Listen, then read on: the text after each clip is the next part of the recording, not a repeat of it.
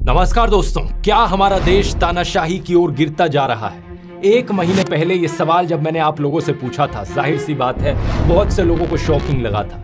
लेकिन किसी भी सच्चे देशभक्त के लिए जो सही मायनों में देश की परवाह करता है, उसके लिए सवाल बहुत ज़रूरी है। कुछ लोगों को डाउट हुआ था कि क्या सही में ऐसा हो रहा है या नहीं हो रहा, लेकिन पिछले एक महीने में जो कुछ हुआ है देश में उसे देखकर तो यकीनन आपकी आँखें खुल जानी चाहिए। दिल्ली के चीफ मिनिस्टर अरविंद केजरीवाल को बिना मनी ट्रेल और बिना कन्विक्शन के अरेस्ट कर लिया गया।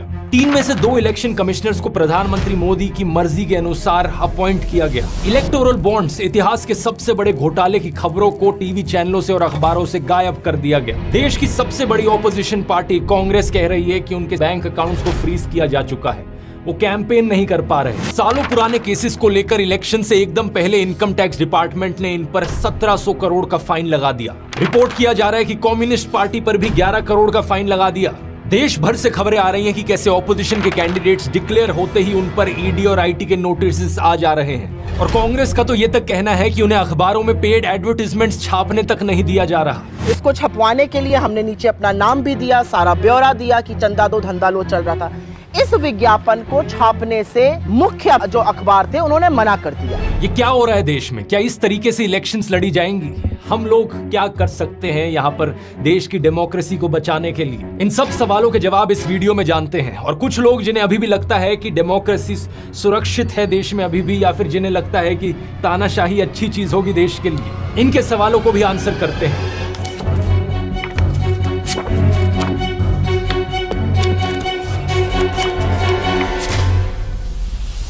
वीडियो शुरू करने से पहले आप में से कई लोगों ने रिक्वेस्ट करी थी, इसलिए जो होली डिस्काउंट है ध्रुव राठी एकेडमी पर, उसे चार दिन और एक्सटेंड किया जा रहा है। अब आप फोर्थ अप्रैल तक इस कूपन कोड को इस्तेमाल कर सकते हैं, होली 50 फ्लैट 50 परसेंट ऑफ़ पाने के लिए। मेरे टाइम मैनेजमेंट कोर्स और मेरे चैट जीपीटी कोर्स दोनों पर। इन क्यूआर कोड्स को आप स्कैन कर सकते हैं, जिस भी कोर्स में आप इंटरेस्टेड है, नहीं तो लिंक इनका नीचे डिस्क्रिप्शन में भी मिल जाएगा।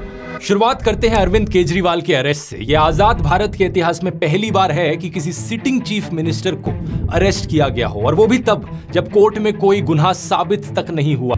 इससे पहले दिल्ली के एजुकेशन मिनिस्टर मनीष सिसोदिया को अरेस्ट किया था, दिल्ली के हेल्थ मिनिस्टर सत्येंद्र जैन को अरेस्ट किया था, आम आदमी पार्टी के एमपी संजय सिंह को अरेस्ट किया था, और ये सब लोग आज भी जेल में बंद हैं। मनीष सिसोदिया को एक साल से ऊपर होने को हो रहा है और सत्येंद्र जैन को तो दो साल होने को हो रहे हैं जेल में बंद रहे। सबसे हैरानी की बात यह है कि इनमें से किसी का भी गुना कोर्ट में साबित नहीं हुआ है। ईडी का आरोप है कि आम आदमी पार्टी के लीडर्स को 100 करोड़ रुपए की रिश्वत दी गई in exchange of undue benefits Delhi की एक्साइज पॉलिसी के तहत। लेकिन पार्टी की पॉलिटिशियन आतिशी कहती है कि दो साल से ईडी और सीबीआई इस केस को इन्वेस्टिगेट किए जा रहे हैं। 500 से ज़्यादा रेड कर चुके हैं, हज़ार से ज़्यादा विटनेसेस ला चुके हैं, लेकिन अभी तक एक भी सबूत इन्हें नहीं मिला इस चीज़ का जो साबित कर पाए कि आम आदमी पार्टी या इनके मिनिस्टर्स ने कुछ गलत किया हो। मनीष सिसोदिया के लॉयर ने यही चीज़ बताने की कोशिश करी थी दिल्ली हाईकोर्ट को कि यहाँ पर कोई मनी ट्रेल नहीं है। इनफैक्ट इस पॉलिसी से देश की जनता को फ़ायदा हुआ, क्योंकि सरकार का रेवेन्यू बढ़ गया था इस पॉलिसी की वजह से, जिसको बाद में इस्तेमाल किया जा सकता स्कूल और अस्पताल बनाने के लिए। तो सवाल ये उठता है कि अगर कोई सबूत ही नहीं है तो कोर्ट इन्हें बेल क्यों नहीं दे रहा? इसके पीछे कारण है PMLA prevention of money laundering act का कानून। स्पेसिफिकली कहा जाए तो 2018 में जो इस कानून में अमेंडमेंट करी गई थी मोदी सरकार के द्वारा, इस अमेंडमेंट में सरकार ने बेल की कंडीशंस बदल दी बेल लेने को और मुश्किल बना दिया। बाकी कानूनों में क्या होता है? Innocent until proven guilty bail मिलना आपका अधिकार कंसिडर किया जाता है। लेकिन पीएमएलए में अब क्या हो गया है? गिल्टी अंटिल प्रूवन इनोसेंट आपको तब तक बेल नहीं मिलेगी जब तक आप अपने आप को इनोसेंट ना साबित करो। इसी 2018 की अमेंडमेंट में ईडी को और ताकत भी दे दी गई थी। इन चीज़ों को अरविंद केजरीवाल ने खुद भी एक्सप्लेन किया था अपनी अरेस्ट से पहले। ईडी के केसेस में जमानत क्यों नहीं मिल रही लोगों को? अब ये पूरा कानून इन्होंने ईडी में पलट दिया। अब इसमें हो गया you are guilty till proved innocent इस कानून में इन्होंने ये लिखा है कि आपके ऊपर आरोप लगेगा, आपके ऊपर एफआईआर होगी, झूठा, सच्चा, जो मर्ज़ी आरोप लगा दें। आपको गिरफ़्तार कर लिया जाएगा। और आपको बेल तब तक नहीं मिलेगी जब तक आपका मुकदमा पूरा नहीं हो जाता और आप इनोसेंट प्रूव नहीं हो जाते। लेकिन बात सिर्फ़ इतनी सिंपल नहीं है दोस्तों। अरविंद केजरीवाल के इस अरेस्ट के पीछे एक इलेक्टोरल बॉन्ड घोटाले का भी कनेक्शन कोर्ट में जो हियरिंग हुई उसके अनुसार अरविंद केजरीवाल को चार लोगों की स्टेटमेंट्स के बल पर अरेस्ट किया ईडी ने। उनमें से एक इंसान है शरद चंद्र रेड्डी, जो कि औरबिंदो फार्मा कंपनी के हेड है। 9 नवंबर 2022 की बात है कि ईडी ने रेड्डी को बुलाया था पूछताछ के लिए इस एलिजिड लिकर स्कैम के केस में। उन्होंने जो स्टेटमेंट दी उस दिन, वो केजरीवाल के फेवर में थी। लेकिन अगले ही दिन 10 नवंबर 2022 को ईडी इन्हें अरेस्ट कर लेती है। इनके अरेस्ट होने के सिर्फ़ पाँच दिन बाद, इनकी कंपनी और बिंदो फार्मा ने पाँच करोड़ रुपए का चंदा डोनेट किया बीजेपी को इलेक्टोरल बॉन्ड्स के ज़रिए। ये चीज़ हम जानते हैं इलेक्टोरल बॉन्ड डेटा को देखकर। आप क्रोनोलॉजी समझ लीजिए। ये करीब छह महीने तक जेल में रहते हैं। अरविंद केजरीवाल ने कोर्ट में कहा कि इन्होंने नौ अलग अलग स्टेटमेंट्स दी इस छह महीने के पीरियड में जो कि सारी स्टेटमेंट्स केजरीवाल के फेवर में थी। उसकी अरेस्ट हुई। उसके बाद उसके नौ स्टेटमेंट्स होते हैं मैम नौ स्टेटमेंट्स वो मेरे खिलाफ नहीं होता। उसके बाद छह महीने उसको अरेस्ट करने के बाद 25 अप्रैल को वो टूट जाता है। लेकिन 25 अप्रैल 2023 को छह महीने जेल में रहने के बाद अगली स्टेटमेंट जो देते हैं वो केजरीवाल के खिलाफ होती है। अगले ही महीने मई 2023 को ईडी इन्हें बेल दे देती है। और जून 2023 में ये ईडी के अप्रूवर बन जाते हैं इस केस में। और बेल मिलने के करीब छह महीने बाद इनकी कंपनी 25 करोड़ रुपए की और डोनेशन करती है बीजेपी को। अब देख रहे हो दोस्तों, किस लेवल का खेल खेला जा रहा है। इलेक्टोरल बॉन्ड्स का डेटा हमें बताता है कि टोटल में इनकी कंपनी ने 52 करोड़ रुपीस की बॉन्ड्स खरीदी थी, जिनमें से दो तिहाई, करीब 34 करोड़ रुपीस बीजेपी के पास गई 15 करोड़ बीआरएस के पास और ढाई करोड़ टीडीपी के पास। यही कारण कि आतिशी ने कहा कि इस एलिजिड लीकर स्कैम का जो मनी ट्रेल है, वो आम आदमी पार्टी के पास नहीं, बल्कि बीजेपी के पास जाता है। ये है मनी ट्रेल शरद चंद्र रेड्डी की कंपनियों द्वारा दिया गया भारतीय जनता पार्टी के बैंक अकाउंट में पैसा। जो बाकी तीन लोग हैं जिनकी स्टेटमेंट्स की वजह से अरविंद केजरीवाल को अरेस्ट किया गया, उनकी कहानियों में भी ऐसी ही क्रोनोलॉजीज आपको देखने को मिलेंगी। शायद यही कारण कि अरविंद केजरीवाल एक के बाद एक समन्स मिस किए जा रहे थे ईडी के और उन्होंने ईडी के इन सारे समन्स को इलीगल ठहराया। उनके अनुसार ईडी का मकसद सिर्फ़ और सिर्फ़ इन्हें किसी भी बहाने से अरेस्ट करना था, जिससे की पार्टी को खत्म किया जा सके और दिल्ली और पंजाब की सरकारों को गिराया जा सके। एक आठ मिनट की ऑडियो रिकॉर्डिंग है इस केस की, जब अरविंद केजरीवाल खुद को कोर्ट में डिफेंड कर रहे थे। अगर आप वो सुनना चाहें तो उसका लिंक डिस्क्रिप्शन में है। अरविंद केजरीवाल के अरेस्ट पर रिएक्ट करते हुए कांग्रेस पॉलिटिशियन राहुल गांधी ने कहा, डरा हुआ तानाशाह एक मरा हुआ लोकतंत्र बनाना चाहता है। नेताओं को धमकाया जाता है, पैसे देकर सरकारों को गिराया जाता है, नेताओं को जेल में डाला जाता है। ये पूरी की पूरी मैच फिक्सिंग करने की कोशिश की जा रही है। मीडिया समेत सभी संस्थाओं पर कब्जा, पार्टियों को तोड़ना, कंपनियों से हफ़्ता वसूली, मुख्य विपक्षी दल का अकाउंट फ्रीज करना। और अब तो चुने हुए मुख्यमंत्रियों की गिरफ्तारी भी आम बात हो गई है। कांग्रेस पार्टी को यहाँ अलग तरीकों से खत्म करने की कोशिश करी जा रही है और ये कोशिश भी कई महीनों से जारी है। पिछले साल अगस्त के महीने में राहुल गांधी पर एक बहुत ही अजीबो गरीब डिफेमेशन केस किया गया, जिसके ज़रिए उन्हें डिस्कालीफाई करने की कोशिश करी गई थी। इस केस की मैंने डिटेल में इस वीडियो में बात करी थी, जिसमें सूरत के कोर्ट ने दो साल की सजा सुनाई राहुल गांधी को। वो तो सुप्रीम कोर्ट ने इसे होने से रोक दिया, नहीं तो आज के दिन देश की दो सबसे बड़ी ऑपोजिशन पार्टीज़ के टॉप लीडर्स जेल में होते हैं। लेकिन अब क्या किया जा रहा है? कांग्रेस का दावा है कि उनके बैंक अकाउंट्स को फ्रीज कर दिया गया है। इसके पीछे क्या कारण दिया जा रहा है? इनकम टैक्स डिपार्टमेंट का कहना है कि कांग्रेस ने अपने रिटर्न्स फ़ाइल नहीं किए थे डेडलाइन के टाइम पर। इसके अलावा एक इकतीस साल पुराना केस कांग्रेस का खोला जा रहा है। 1993 1994 का इनकम टैक्स डिपार्टमेंट का कहना है कि वहाँ पर कुछ हुआ था उस समय पर। अब हम उसका पीनल चार्जेस मांगते हैं। और 29 मार्च को आईटी डिपार्टमेंट ने 1700 करोड़ का नोटिस दिया कांग्रेस पार्टी को। और सेम दिन रिपोर्ट में आया कि कम्युनिस्ट पार्टी पर भी 11 करोड़ रुपए की पेनल्टी लगा दी आईटी डिपार्टमेंट ने। किस कारण से? क्योंकि उन्होंने पुराना पैन कार्ड यूज़ किया था। हर एक ऑपोजिशन पार्टी को इसी तरीके से टारगेट किया जा रहा है। इस ट्वीट को देखिए। टीएमसी पार्टी के कैंडिडेट साकेत खोखले ने लिखा कि पिछले बहत्तर घंटे में इन्हें 11 अलग अलग इनकम टैक्स के नोटिस आ गए। कुछ तो सात सात साल पहले के नोटिस है। क्या ऐसे होंगी देश में फ्री और फेयर इलेक्शन हालातों को देखकर इस फ़िल्म की याद आती है। द डिक्टेटर नाम की एक कॉमेडी फ़िल्म जो कि एक सेटेरिकल कहानी सुनाती है एक फिक्शनल डिक्टेटर की। रेस जीतने के लिए डिक्टेटर किसी भी हद तक जाने को तैयार है। आज जो भी ये सब हो रहा है देश में, इसकी खबर दुनिया भर में पहुँच रही है दोस्तों। पहले जर्मनी की तरफ़ से स्टेटमेंट आई, फिर अमेरिका ने स्टेटमेंट दी और अब तो यूनाइटेड नेशंस भी कहने लग रहा है। वो उम्मीद करते हैं कि इंडिया में लोग फ्री और फेयर तरीके से वोट कर पाएँगे। सबके राइट्स को प्रोटेक्ट किया जाएगा। सरकार के इन कारनामों की वजह से दुनिया भर में भारत की रेपुटेशन नीचे गिर रही है। कुछ बीजेपी के पॉलिटिशियंस तो अब ओपनली कह रहे हैं। हम 400 से ज़्यादा सीट लाना चाहते हैं ताकि हम देश का कॉन्स्टिट्यूशन बदल सके। इस खबर को देखो 27 मार्च को शिवसेना ने अपने पॉलिटिशियन अमोल कीर्तिकर को कैंडिडेट घोषित किया। ये हुआ सुबह के 9 बजे और सिर्फ़ एक घंटे बाद 10 बजे इन्हें ईडी का नोटिस आ गया। अमोल कीर्तिकर जी, जैसे उनका नाम घोषित हुआ, उनको ईडी का समन्स आया। ये दबाव तंत्र है। ये डराने की कोशिश है। एनसीपी के लीडर प्रफुल्ल पटेल याद है। इन पर एक भारी आरोप लगाया गया था करप्शन केस का, बीजेपी के द्वारा। आठ महीने पहले इन्होंने लेकिन अपनी पार्टी तोड़कर बीजेपी की अलायंस ज्वाइन कर ली थी। और इसका नतीजा क्या हुआ? उनतीस मार्च की इस खबर को देखो। जो भी केस सीबीआई ने चलाया था, इनके खिलाफ उसे अब बंद कर दिया गया। अब मोदी सरकार कहती है की यहाँ कोई करप्शन नहीं था। ऐसे ही बहुत से और केसेज है, जैसे की नवीन जिंदल का केस देखो। ये कांग्रेस के कैंडिडेट थे, इन पर कोलगेट स्कैम का आरोप लगा था। लेकिन 25 मार्च को बीजेपी ज्वाइन करते हैं और अचानक से इन्हें बीजेपी का टिकट मिल जाता है ये सब देखने के बाद भी कुछ लोग इतने बेशर्म हैं कि वो फिर भी कहते हैं, अरे, अगर ये नहीं तो और कौन? हालत देख रहे हो देश में क्या हो गई है? हालत ये हो गई है कि कोई भी और ऑप्शन यहाँ पर बेहतर है। देश में इलेक्शंस को फेयर तरीके से कंडक्ट करवाने की रिस्पॉन्सिबिलिटी आती है इलेक्शन कमीशन के ऊपर। लेकिन वहाँ अपनी अलग कहानी चल रही है। 9 मार्च 2024 को इलेक्शन कमिश्नर अरुण गोयल ने अपनी पोस्ट से रिजाइन कर दिया। Chief election commissioner Rajiv Kumar का कहना था कि उन्होंने ये इस्तीफा दिया क्योंकि हेल्थ कंसर्न्स थे उनको। लेकिन द हिंदू अखबार के अनुसार, उनके पास के जो लोग थे, उनका कहना है कि एक्चुअली में अरुण गोयल की जो हेल्थ थी, वो परफेक्ट थी। कारण इसके पीछे ये बताया जा रहा है कि chief election commissioner Rajiv Kumar और इलेक्शन कमिश्नर अरुण गोयल के बीच में असहमतियाँ थी। अब इसके अलावा एक और इलेक्शन कमिश्नर की पोस्ट खाली पड़ी थी। देश में तीन इलेक्शन कमिश्नर्स होते हैं। इनके रेजिग्नेशन के बाद दो पोस्ट खाली हो गई। दो नए इलेक्शन कमिश्नर्स को कैसे अपॉइंट किया जाए और कौन अपॉइंट करेगा? मैंने पिछले वीडियो में आपको बताया था कि मार्च 2023 में पाँच जज कॉन्स्टिट्यूशन बेंच था सुप्रीम कोर्ट का, जिन्होंने ऑर्डर किया कि इलेक्शन कमिश्नर्स की अपॉइंटमेंट होनी चाहिए तीन लोगों की कमेटी के द्वारा prime minister leader of opposition और चीफ जस्टिस ऑफ़ इंडिया लेकिन मोदी सरकार करीब साढ़े तीन महीने पहले एक नया कानून लाई यहाँ पर और कहा कि नहीं, इलेक्शन कमिश्नर्स की अपॉइंटमेंट में चीफ जस्टिस नहीं होंगे।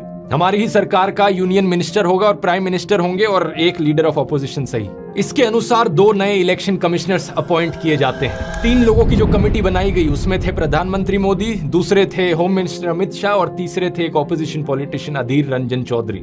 लेकिन इस अपॉइंटमेंट के वक्त भी प्रॉपर प्रोसीजर नहीं फॉलो किया गया। अधीर रंजन चौधरी ने कहा कि एक रात पहले उन्हें 212 नामों की लिस्ट दी गई। और मीटिंग से एकदम पहले उन्हें छह नामों की शॉर्टलिस्ट दी गई और उन्हें समय ही नहीं दिया गया जज करने के लिए कि किसे अपॉइंट करना चाहिए, उनका बैकग्राउंड क्या है लोगों का, उनका एक्सपीरियंस कितना है, उनकी इंटीग्रिटी कितनी है। प्रधानमंत्री मोदी और अमित शाह ने अपनी मर्ज़ी से इन दो इलेक्शन कमिश्नर्स को अपॉइंट कर दिया। सुप्रीम कोर्ट ने अपनी तरफ़ से कंसर्न ज़रूर एक्सप्रेस किया कि ये गलत है कि इस तरीके से सही डिटेल्स नहीं दिखाई गई, लेकिन उसके अलावा कोर्ट ने कोई एक्शन नहीं लिया। कोर्ट ने कहा कि बहुत केयस हो जाएगा अगर हम दो अपॉइंटमेंट्स को रोक दे तो तो कौन थे ये दो नए इलेक्शन कमिश्नर्स जिन्हें अपॉइंट किया गया? पहले थे ज्ञानेश कुमार, एक रिटायर्ड आईएएस ऑफिसर जो कि एक्चुअली में 2016 से 21 के बीच में होम मिनिस्ट्री के अंदर काम करते थे अंडर अमित शाह दूसरे हैं सुखबीर संधू जो कि रिटायर्ड आईएएस ऑफिसर हैं और 2014 से लेकर 2023 के बीच में। इन्होंने पहले ministry of human resource development में काम किया चेयरपर्सन ऑफ़ एनएचएआई रहे और चीफ सेक्रेटरी रहे उत्तराखंड के। क्या इन इलेक्शन कमिश्नर से एक्सपेक्ट किया जा सकता है कि ये फेयर तरीके से लोकसभा की इलेक्शन कंडक्ट करवाएँगे? ये टाइम ही बताएगा। अब हमारे देश में अगर कोई इंस्टीट्यूशन सही तरीके से काम नहीं कर रहा है तो ज़िम्मेदारी जुडिशरी पर आती है। लेकिन देश के कोर्ट्स में भी जो कहानी चल रही है, वो भी ज़्यादा अलग नहीं है। 8 मार्च को एक बहुत ही शॉकिंग केस देखने को मिला। कैलकाटा हाई कोर्ट के जज अभिजीत गांगोपाध्याय ने अपनी पोजीशन से रिजाइन कर दिया और कुछ ही दिनों बाद फॉर्मली भारतीय जनता पार्टी को ज्वाइन कर लिया। इन्होंने खुद एडमिट किया कि रेजिग्नेशन से पहले ही इन्होंने बीजेपी को अप्रोच किया था। और एक रिसेंट इंटरव्यू में इन्होंने बताया कि इन्हें बड़ी मुश्किल होती है गांधी और गोडसे के बीच चुनने में। ऐसे जजेस अगर पॉलिटिकल पार्टीज़ के कॉन्टेक्ट में रहेंगे तो क्या हमारी जुडिशरी को आज़ाद कहा भी जा सकता है? आप ही बताइए कोर्ट कचेरी के सिस्टम में अक्सर एक बात बार बार दोहराई जाती है। Bail is the rule jail is an exception इसका मतलब है कि बेल मिलना अधिकार है लोगों का। लेकिन आज के दिन चीफ जस्टिस ऑफ़ इंडिया कह रहे हैं कि डिस्ट्रिक्ट कोर्ट्स में जेल रूल बनता जा रहा है। लोअर कोर्ट्स के जजेस बेल देने से झिझक रहे हैं। एडवोकेट दुष्यंत दवे के अनुसार जजेस पर प्रेशर है। एक डर का माहौल है। जजेस को अपनी फैमिलीज़ की चिंता होती है। अब कुछ लोग कहेंगे कि अगर देश में हालत सही में इतनी बुरी है तो मैं ये वीडियो कैसे बना पा रहा अगर देश सही में डिक्टेटरशिप की ओर गिरता जा रहा है तो मेरा मुँह बंद कैसे नहीं कराया गया अभी तक? अगर लोकतंत्र खत्म हो जाए तो ऐसी चीज़ चल ही नहीं सकती है यहाँ पे। द प्रिंट के शेखर गुप्ता ने भी यही आर्ग्यूमेंट उठाया था मेरे पिछले वीडियो के बाद। इन सब लोगों के लिए मेरा एक सवाल है। स्क्रीन पर इस वीडियो को देखो और मुझे बताओ की ये गाड़ी टूटी हुई है या सही सलामत है। अब कोई भी नॉर्मल इंसान कहेगा ऑब्वियसली भाई, टूटी हुई गाड़ी है, लेकिन शेखर गुप्ता का लॉजिक अगर यहाँ इस्तेमाल किया जाए तो वो कहेंगे, देखो, गाड़ी में ड्राइवर बैठा है, गाड़ी चल रही है, इसका मतलब गाड़ी सही सलामत है। कोई सेंस है इस बात का? मेरा मुँह बंद नहीं हुआ अभी तक, इसकी खुशी मना रहे हो। और उनका क्या, जिनका मुँह बंद ऑलरेडी कराया जा चुका है? इस न्यूज़ हेडलाइन को देखिए, छह लोगों को अरेस्ट किया गया और सौ से ज़्यादा एफ़ कराई गई, सिर्फ़ इसलिए क्योंकि लोग पोस्टर चिपका रहे थे मोदी हटाओ, देश बचाओ के। लेट पवन जायसवाल पर चार सेक्शन के अंडर केसेस फ़ाइल किए गए, सिर्फ़ इसलिए क्योंकि उन्होंने ये रिपोर्ट किया। स्कूल में मिड डे मील के तौर पर बच्चों को नमक के साथ रोटियाँ खिलाई जा रही हैं। ये एक बहुत बड़ी लॉजिकल फैलेसी है जिसे फॉल्स डिलेमा कहा जाता है। चीज़ों को ज़बरदस्ती ब्लैक एंड व्हाइट बना देना कि या तो देश एक डेमोक्रेसी है या फिर एक डिक्टेटरशिप है। बीच में कुछ हो ही नहीं सकता। मैंने कभी नहीं कहा था कि देश ऑलरेडी हंड्रेड परसेंट डिक्टेटरशिप बन गया। मैंने कहा था देश डिक्टेटरशिप की ओर गिर रहा है और अभी भी यही कह रहा हूँ। ये डेमोक्रेसी और डिक्टेटरशिप ये एक स्पेक्ट्रम है, एक स्केल है बहुत बड़ा। अलग अलग तरीके हैं जो डेमोक्रेसी मेजर करने के, वो भी ज़ीरो टू टेन के बीच में नंबर देते हैं। अलग अलग टर्म्स का इस्तेमाल किया जाता है। अगर बहुत अच्छी चल रही है देश में डेमोक्रेसी तो फुली फंक्शनल लिबरल डेमोक्रेसी उसके बाद है वर्किंग डेमोक्रेसी खराब है डेमोक्रेसी तो फ्लॉट डेमोक्रेसी उसके बाद डेफिशिएंट डेमोक्रेसी उसके बाद इलेक्टोरल ऑटोक्रेसी फिर हाइब्रिड रजीम और आखिर में अथॉरिटेरियन रजीम जो एक्चुअल डिक्टेटरशिप लोगों को अपनी गाड़ी की इतनी चिंता होती है कि एक छोटा सा स्क्रैच या डेंट भी लग जाता है ना, चिल्लाने लग जाते हैं, वो गुस्से में आ जाते हैं। और यहाँ डेमोक्रेसी की गाड़ी पर ऐसे डेंट मारे हैं, इस तरीके से धजियाँ उड़ा दी गई हैं इस गाड़ी की, कि लोग हैरान है देखकर कि गाड़ी अभी भी चल कैसे पा रही है। अगर आप अपने आप को देशभक्त कहते हो और गाड़ी की ये हालत देखकर भी अपनी आवाज़ नहीं उठाते तो क्या आप देशभक्त कहलाने लायक भी हो? इसी महीने डेमोक्रेसी रिपोर्ट 2024 रिलीज़ हुई स्वीडन के वी डेम इंस्टीट्यूट के द्वारा। और इसने इंडिया को पता है कौन सी कैटेगरी में डाला है। इलेक्टोरल ऑटोक्रेसी की कैटेगरी में डाला है। फुल डिक्टेटरशिप से दो कदम दूर। इसका मतलब है कि देश में मल्टी पार्टी इलेक्शंस तो हो रही हैं, लेकिन एक फेयर लेवल प्लेइंग फ़ील्ड नहीं मिल पा रही है। लोगों की आज़ादी खत्म करी जा रही है। इस रिपोर्ट में लिखा है कि मोदी सरकार ने सेडिशन डिफेमेशन और काउंटर टेररिज्म जैसे कानूनों का इस्तेमाल किया है अपने खिलाफ उठ रही आवाजों को दबाने के लिए। और जल्द ही इस लिस्ट में एक और कानून भी ऐड हो सकता है। ब्रॉडकास्टिंग सर्विसेज़ रेगुलेशन बिल 2023 के अंदर नए आईटी रूल्स लाने की कोशिश करी जा रही है। इसके अनुसार ब्रॉडकास्टिंग की एक बहुत ब्रॉड डेफिनेशन बनाई गई है। जिन जिन लोगों का यूट्यूब चैनल है फेसबुक अकाउंट है इंस्टाग्राम हैंडल है या व्हाट्सएप चैनल भी है, वो सब ब्रॉडकास्टर्स की कैटेगरी में आएँगे। हर ब्रॉडकास्टर को सरकार के सामने जाकर रजिस्टर करना पड़ेगा और सरकार की एक सेंट्रल इवेल्युएशन कमेटी होगी, जिसको बहुत ज़्यादा पावर्स दी गई हैं। ब्रॉडकास्टर सिर्फ़ वही वीडियोस या मैसेजेस भेज सकते हैं लोगों को जो इस कमेटी के द्वारा अप्रूव किए गए हों except for specific programs exempted by the government इस कानून के तहत सरकार के पास ये भी पावर होगी कि बिना प्रायर नोटिस के वो यूट्यूबर्स की इक्विपमेंट को जाकर सीज कर ले। तो एक बात तो पक्की है कि सोशल मीडिया पर भी लोगों की आवाज़ बंद करने की पूरी तरीके से कोशिश करी जा रही है। और जब मेरी आवाज़ फाइनली पूरी तरीके से बंद हो जाएगी, तब क्या जवाब दोगे? तब क्या आर्ग्यूमेंट बचेगा? अरे, कोई बोलने वाला ही नहीं बचा। इसका मतलब डेमोक्रेसी अच्छी चल रही है देश में। और इस गलत फहमी में मत रहना कि भाई, मैं तो सरकार का सपोर्टर हूँ, मोदी सपोर्टर हूँ, मेरा कुछ नहीं जा रहा। अगर देश डिक्टेटरशिप बन भी जाए तो भी मेरे लिए तो सब अच्छा चलता रहेगा। सोनम वांगचुक भी एक बार सरकार को सपोर्ट करते थे, जब आर्टिकल 370 हटाया गया था। मेरे ख्याल से ये लद्दाख के लिए बहुत ही खुशी की बात है उसकी हक थी। वो उससे वापस मिला है। लेकिन जब उनके एरिया में कोई प्रॉब्लम आई और उन्होंने अपनी आवाज़ उठाने की कोशिश करी 21 दिन तक अनशन पर बैठने के बावजूद भी सरकार का मुँह नहीं खुला। डिक्टेटरशिप में एक डिक्टेटर सिर्फ़ अपने अहंकार, अपनी पावर, अपने पैसे से मतलब रखता है, उसे जनता की कोई फ़िक्र नहीं होती। बहुत से किसान भी सरकार के समर्थक थे, लेकिन जब उन्हें पता चला कि उन्हें अपनी मांगे रखने का अधिकार भी नहीं दिया जाएगा सारा मीडिया उन्हें देशद्रोही करके बदनाम करेगा। तब उन्हें एहसास हुआ कि डिक्टेटरशिप का क्या मतलब हो सकता है। आप एक स्टूडेंट हो पेपर लीक होता है, चुप बैठे रहो। बढ़ती महँगाई के खिलाफ आपको आवाज़ उठानी है, आवाज़ दबा दी जाएगी। अपनी डेली लाइफ में किसी भी तरीके का ना इंसाफ अगर आप सह रहे हो, आपके पास कोई ऑप्शन नहीं बचेगा अपना मुँह बंद करके चुप बैठे रहने के अलावा।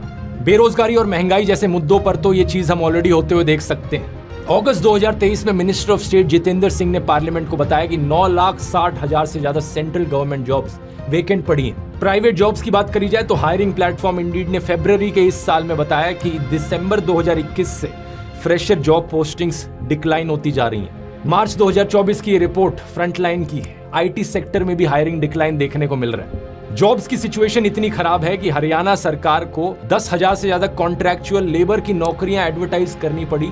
इसराइल में। एक ऐसा देश जो वॉर जोन बना बैठा है। हरियाणा के यूथ को वहाँ भेजा जा रहा है सरकार के द्वारा। ये हालत है देश में जॉब्स की। और महँगाई की तो क्या ही बात करनी। पेट्रोल का दाम नब्बे रूपए ऐसी लेकर एक रुपए तक पहुँच चुका है। जनवरी 2024 की रिपोर्ट बताती है की यूनाइटेड नेशन का जो फ़ूड प्राइस इंडेक्स है, वो ग्लोबल फ़ूड इन्फ्लेशन को माइनस टेन परसेंट पर डालता है। यानी दुनिया भर में खाने के प्राइसेस कम हो रहे हैं। लेकिन इंडिया में फ़ूड प्राइस इंडेक्स इन्फ्लेशन क्या है दिसंबर 2023 की?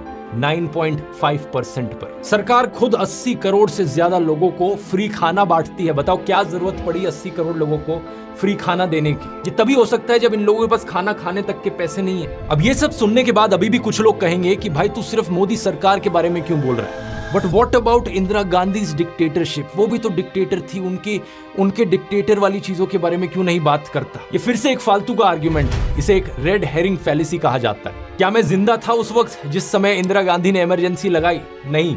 अगर होता तो मैं यही वीडियोस बना रहा होता। और अभी भी इनफैक्ट मैंने एक पूरा वीडियो बनाया है इंदिरा गांधी की इमरजेंसी के ऊपर, बताया है कि कैसे वो डेमोक्रेसी के ऊपर एक काला धब्बा था। लेकिन कल की प्रॉब्लम्स गिनाकर आज की प्रॉब्लम्स ठीक नहीं हो जाएँगी। उस वक्त जो हुआ, वो बहुत गलत था। और इस वक्त जो हो रहा है, वो भी बहुत गलत है। उस वक्त कुछ लोगों के बहादुर संघर्ष की वजह से डेमोक्रेसी को बचा लिया गया देश में। लेकिन आज कौन बचाएगा देश को? मीडिया को खरीदा जा चुका है। हर इंस्टीट्यूशन कॉम्प्रोमाइज हो चुका है। ऑपोजिशन लीडर्स का अरेस्ट किया जा चुका है। बचा कौन? बचे हम लोग, देश के लोग। We the people of India हम हैं आखिरी उम्मीद। जैसे इमरजेंसी के समय में लोगों ने भारी संख्या में अपनी आवाज़ उठाई थी और उसके बाद जो इलेक्शन हुई, उसमें इंदिरा गांधी को हरा दिया था। उसी जज्बे से आज देश की जनता को इस अनडिक्लेयर्ड इमरजेंसी के खिलाफ आवाज़ उठाने की ज़रूरत है। अगर आप भारत माता की जय कहते हो तो भारत माता को बचाने के लिए तैयार भी रहो। अगर गांधी जी भगत सिंह नेताजी बोस की रिस्पेक्ट करते हो तो उनके जैसा जज्बा भी लेकर आओ। जो आज़ादी उन्होंने अपना खून पसीना बहाकर दिलवाई है उस आज़ादी की रक्षा करना इंडियन डेमोक्रेसी को बचाना हमारा धर्म है। इस वीडियो को देखने वाला हर एक इंसान अब से अपने आप को लोकतंत्र का रक्षक समझे। ये ज़िम्मेदारी अब हम सबकी है। स्टेप वन अपनी आवाज़ उठाइए। एक एक आवाज़ से फ़र्क पड़ता है। अगर आप अपनी आवाज़ नहीं उठा सकते तो इस वीडियो को सौ लोगों को फॉरवर्ड कीजिए। व्हाट्सएप ग्रुप्स पर इंडिविजुअली फेसबुक पर ट्विटर पर इंस्टाग्राम पर हमारा मिशन है इस खबर को देश के कोने कोने तक पहुंचाना, देश के हर एक वोटर तक पहुंचाना। स्टेप टू वोट करना मत भूलिए। इस बार कोई एक्सक्यूज नहीं चलेगा क्योंकि एक एक वोट से फ़र्क पड़ता है। चेक कीजिए आपकी कॉन्स्टिट्यूएंसी में कब है वोटिंग अगर आप देश के बाहर होंगे तो आ जाइए वोट करने क्योंकि इस बार सब कुछ दाव पर है। इस लिंक पर जाइए। ये लिंक डिस्क्रिप्शन में भी मिल जाएगा चेक करने के लिए कि आप वोटिंग के लिए ऑलरेडी रजिस्टर्ड है या नहीं। अगर आपका नाम इस लिस्ट में नहीं आता, इसका मतलब आप वोटिंग के लिए रजिस्टर्ड नहीं है। वोटर रजिस्ट्रेशन कंप्लीट करने के लिए इस लिंक पर जाइए। ये भी नीचे डिस्क्रिप्शन में मिल जाएगा। स्टेप थ्री अपने आसपास लोगों तक बात पहुंचाइए। क्या आप जानते हैं, देश में 30 से 35 परसेंट एलिजिबल वोटर्स वोट डालने ही नहीं जाते?